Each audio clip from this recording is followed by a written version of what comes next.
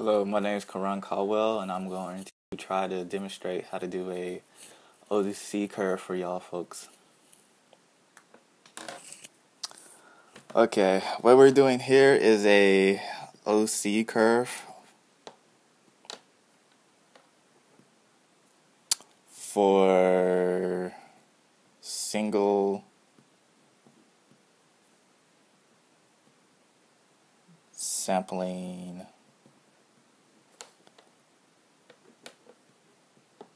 plans. Uh, there's many different type of sampling plans. There's single, do double, um, multi, sequential.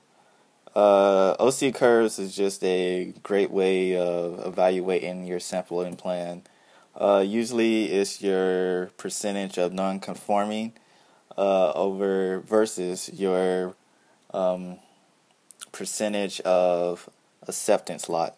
So what you plot is a you find a percentage of non-conforming, and then you go over and up, and that will give you the percent chances of that lot being accepted or not.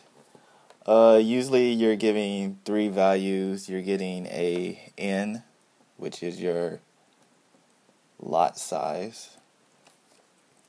You're giving a lowercase n, which is your sample size. And lastly, you're giving an C value, which is your acceptance number.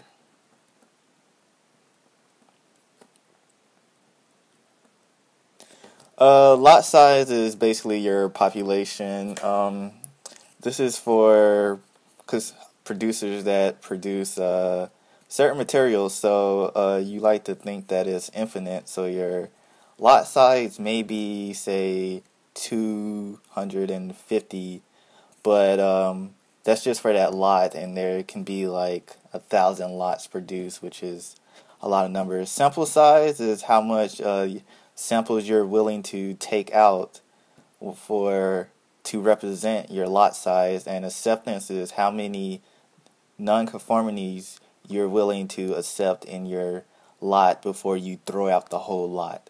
Single sampling plan refers to that you only take one sample size, and if that sample size is either if it's not accepted, the whole lot is rejected. If it is accepted, the whole lot is uh, accepted and goes to production. Um, usually, when writing a OC curve, they give you a n value. So let's just have an n value of uh, say three thousand. Uh, sample size would be hundred. Hundred's a nice easy number, and number acceptance is uh, let's say two. Okay, since we done that, um. You want to start off with a graph, simple graph. Sorry, I am not an artist. Uh, this is your percentage of non-conforming, as I said.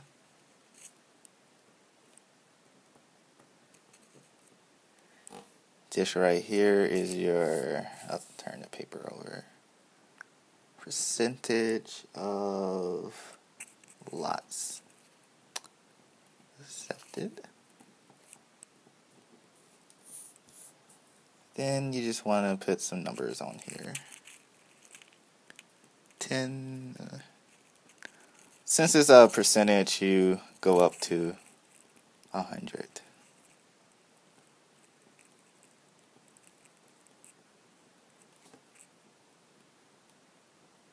ran out space. Okay, on this axis right here, you have um, your, as I said, percentage of non-conforming. Usually you want to go up to seven steps because anything above seven is really not necessary. One, oops, one, two, three, four, five, six, seven. Okay, where I like to start off is I like to make a little table. So as I said, I usually start off with uh, your non-conforming. Since we want it to 7, is would be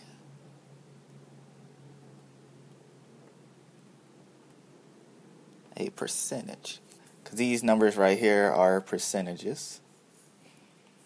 So you have 1%, 2%, 3, 4, 5, 6, 7.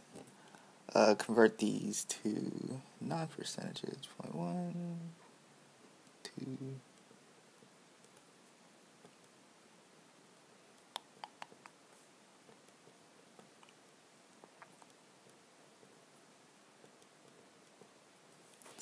Okay, and then usually next I put our sample size of n, which was 100. And because I'm lazy, go down. And then you have a NP value.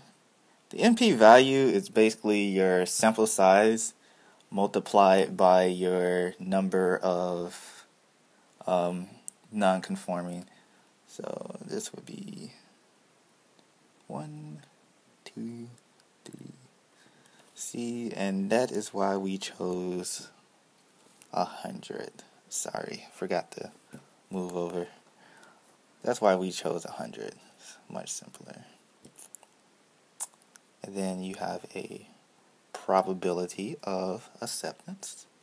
Your probability of acceptance is based off of your acceptance number and your sample size.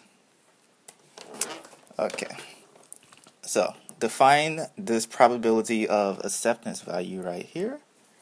We have to use our handy dandy, sorry, let me flip this over.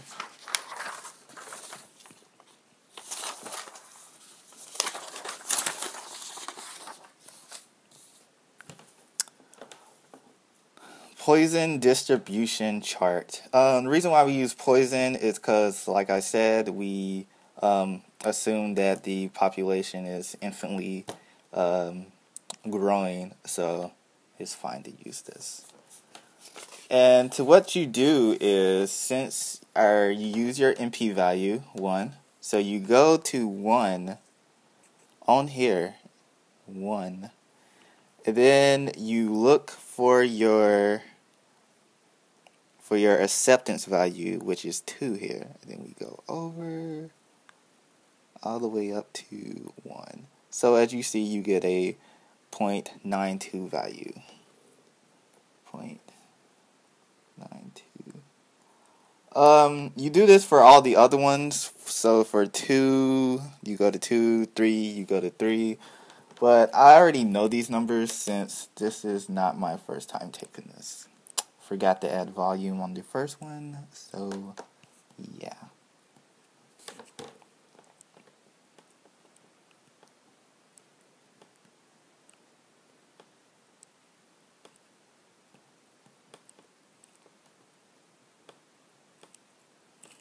Okay, and these are your lovely numbers. I seem to start scribbling out of nowhere. But, um, sorry, this runs to this, but to turn this into a percentage, you just multiply by 100. Really simple stuff.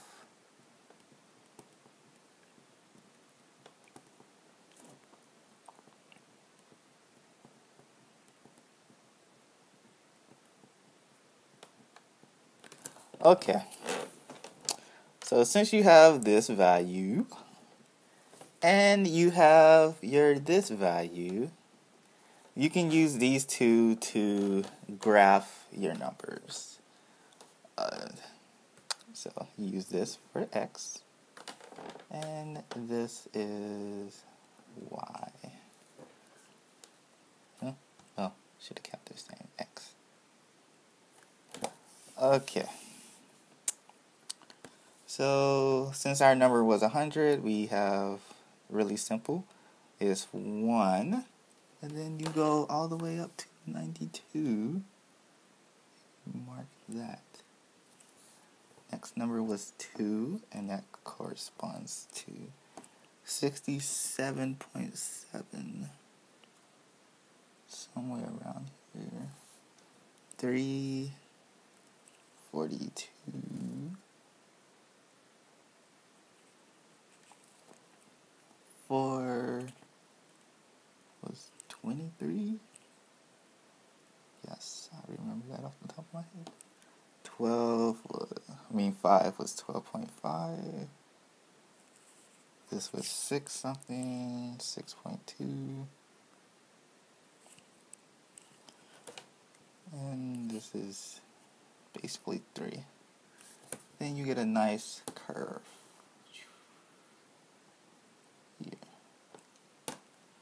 And that's pretty much it. So let's say if you um, had two percentage of nonconformities, you would go up to this line.